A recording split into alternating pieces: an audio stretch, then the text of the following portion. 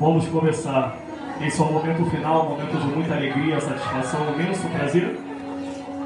Que eu falo o nome da nossa campeã, que ela é uma campeã, no lugar, no terceiro lugar desse campeonato de a Deus, com a Tamara. Aplausos para a Tamara.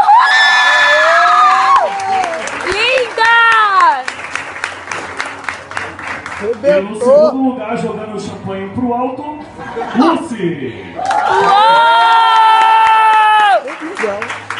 E a nossa campeã